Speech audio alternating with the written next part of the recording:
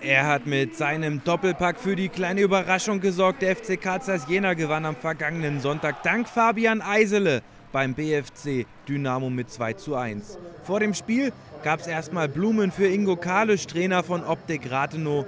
Und das schon seit 33 Jahren. Die Blumen gab es von Jena-Trainer Andreas Patz. Dann ging es rein in die Partie Jena gegen Optik Rathenow. Es ging sofort heiß her. Eisele der Pass wird abgefangen von Emir Sejdovic und plötzlich ging es ganz schnell in die andere Richtung. Rate nur im Angriff heute ohne Jonathan Moyomo. Der Top-Torjäger, achtmal hat er getroffen, muss wegen einer Gelbsperre zusehen. Aber das ist Rathenow doch völlig egal, denn sie haben auch Lukas Will. Auch er hatte acht Treffer auf dem Konto. Jetzt sind es neun. Rathenow führt nach sechs Minuten 1 zu 0. Und Lukas Will steht da in der Mitte viel zu frei, kann unbedingt einschieben. Das wollte Jena natürlich nicht auf sich sitzen lassen. Viertelstunde rum. Der Ball bei Maximilian Kraus links draußen. Und in der Mitte, klar, Fabian Eisele. Er knipst schon wieder. 17. Saisontreffer für Fabian Eisele.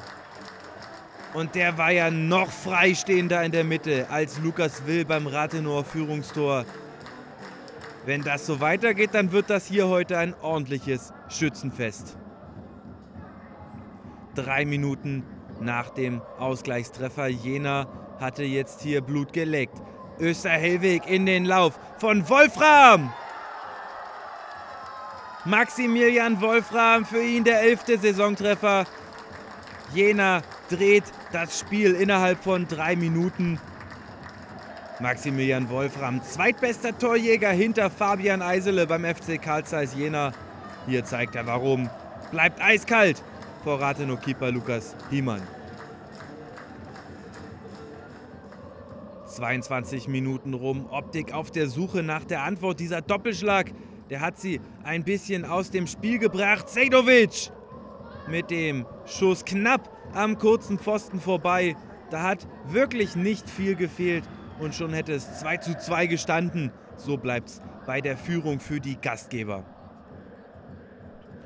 Und die schnürten mit zunehmender Spielzeit Rathenow im eigenen Strafraum ein. Jena mit Kraus wieder über links in der Mitte. Eisele, der verpasst diese Flanke. Aber die Szene läuft weiter. Österhellwig wieder in die Mitte. Und logisch, Fabian Eisele macht das Tor. Nagelt den Ball unter den Querbalken. 18. Saisontreffer für Eisele. Bedankt sich nach dem Treffer standesgemäß beim Vorlagengeber bei Maximilian Österhellwig.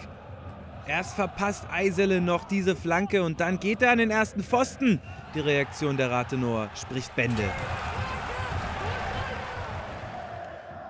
35. Minute, Freistoß Jena, Maximilian Öster-Hellweg. Der wird geklärt, aber sie lassen Rathenow gar nicht zum Durchpusten kommen und es folgt die Kombination von Maximilian Österhellweg auf Maximilian Kraus und der zu Maximilian Wolfram. Tor oder nicht? Kurze Verwirrung und dann der Jubel. Der Ball war hinter der Linie, sagt das Schiedsrichtergespann um Max Bringmann. Und jetzt trifft auch Wolfram doppelt Saisontor Nummer 12 für ihn. Hätte es das Tor nicht gegeben, dann wäre es Strafstoß gewesen für Karl Zeiss. Denn Emir Sejdovic ist da mit dem linken Arm am Ball wäre die klare Verhinderung einer Torschance gewesen. Aber so geht es weiter beim Stand von 4 zu 1. Und Jena hat hier richtig Spaß. Rathenow kann sich kaum noch befreien und selbst wenn, dann rollt sofort der nächste Angriff aufs Gästetor zu. So wie hier. Jena setzt sofort nach und dann kommt der Ball in den Lauf von Maximilian. Österhellwig, der hat noch nicht getroffen heute. Und dabei bleibt's auch. Wilde Szene vor dem Rathenower Kasten. Erst rettet die Latte, dann Keeper Hiemann. Großes Glück für Optik Rathenow. Kurz vor der Pause, 42. Minute. Erst Maximilian Österhellwig. Der macht eigentlich alles richtig und dann ist Kufur dazwischen. Der Ball springt an die Latte. Hiemann fischt den noch vor der Linie weg. Ja, zur Halbzeit, da fragt sich Rathenow-Torschütze Lukas Will eigentlich, was ist hier los? Nach seinem Treffer ging es steil bergab. Und auch die zweite Halbzeit beginnt mit dem FC Karl Zeiss. Es geht schon wieder schnell in Richtung Gäste-Tor Österhellweg zu Kraus. Aber der kann den Ball nicht über die Linie drücken. Maximilian Kraus verpasst hier das frühe Tor nach Wiederbeginn. 55. Minute Ecke René Lange. Und den Ball, den kann Rathenow mal wieder nicht wirklich aus dem Strafraum befördern. Maximilian Wolfram setzt nach. Gegen 1, gegen 2, gegen 3, gegen alle. Behält den Ball am Fuß. Und dann die Flanke von Österhellwig zu Eisele. Auch bei Jenas Bestem ist nicht jeder Schuss ein Treffer. Auf das erste Tor in Durchgang 2 müssen die über 2600 Karl Zeiss-Fans im Stadion trotzdem nicht lange warten. Maximilian Kraus bekommt den Ball hier vor den Fuß. Das 5 zu 1, 56. Minute. Und die beiden Doppeltorschützen aus der ersten Halbzeit, die sind als erstes da zum Gratulieren, Eisele und Wolfram. Gratulieren dem Doppeltorschützen vom letzten Heimspiel. Da hatte Maximilian Kraus das 2 zu 0 gegen Luckenwalde im Alleingang herausgeschossen. Eine gute Stunde gespielt, da findet Rathenow auch mal wieder offensiv statt, weil Jena mit dem 5 zu 1 im Rücken jetzt natürlich einen Gang zurückschaltet. Da ist ein bisschen Platz für Johannes Pistol und den nutzt er aus, prüft Lukas Sedlak mit dem Schuss. Rathenows Torschütze will danach im Abseits, deswegen läuft die Szene ins Leere. Immerhin mal ein Ausrufezeichen. Und Rathenow macht weiter. Acht Minuten nach diesem Schuss von Pistol. Platz für Kufur. Und der sieht den einlaufenden Januario. Das 5 zu 2. Optik Rathenow legt hier auch noch einen Treffer nach. Für Januario ist es der vierte Saisontreffer. Setzt den ganz trocken in die lange Ecke vorbei an Lukas Settler. Keine Chance für den Jena Keeper. Mehr wie Ergebniskosmetik, wie man so schön sagt, dürfte das aber nicht sein. Denn das letzte Wort, das gehört einmal mehr dem FC Karl Zeiss Jena. Schöner Ball in die Spitze zu Prokopenko. 6 zu 2, 88. Minute. Alexander Prokopenko.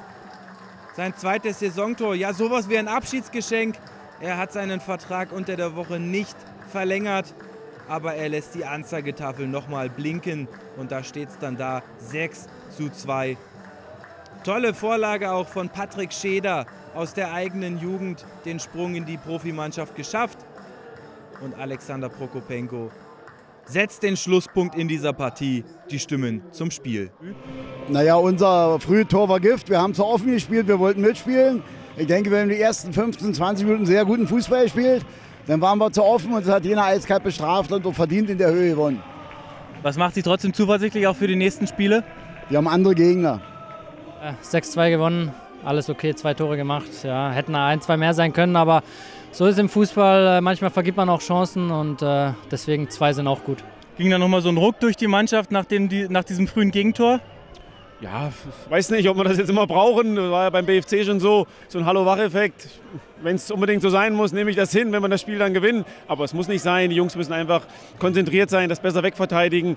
Sind da einfach nicht richtig in den Zweikämpfen da gewesen. Und, ja, aber nichtsdestotrotz sind gut zurückgekommen, konzentriert geblieben, ruhig geblieben und dann auch im Endeffekt verdient gewonnen. Ja, und gibt es denn nach diesem Sieg neben den Feierlichkeiten vielleicht doch noch das Fünkchen Hoffnung, den BFC abzufangen? Was heißt Hoffnung oder wir können die Sache nicht beeinflussen, was der BFC macht. Nochmal, die stehen zu Recht da oben, ähm, haben ihre Spiele gewonnen und wir brauchen jetzt morgen auch nicht Daumen drucken. Wir können entspannt hingucken, das können wir machen und dann schauen wir weiter. Und ja, also wie gesagt, ich spiele morgen in Auerbach.